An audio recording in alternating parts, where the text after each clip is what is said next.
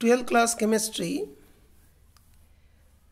NCRT chapter solution in-text question 2.4 in question it is given calculate the mass of urea NH2CONH2 required in making 2.5 kg of 0.25 molar aqueous solution okay तो molar mass of NH2CONH2 is 16 plus 16 plus 12 plus 16 that is 60 gram okay correct okay next जो है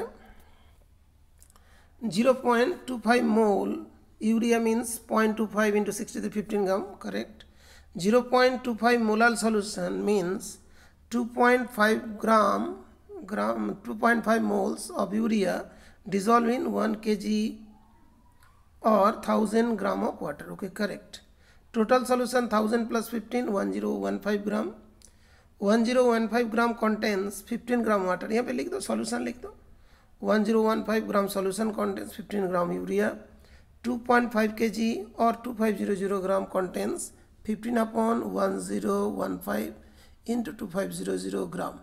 तो सब cut के solve होके कितना है? Calculation इधर तुमने किया।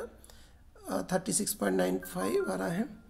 That is equal to thirty seven gram of urea okay this a correct answer ठीक है?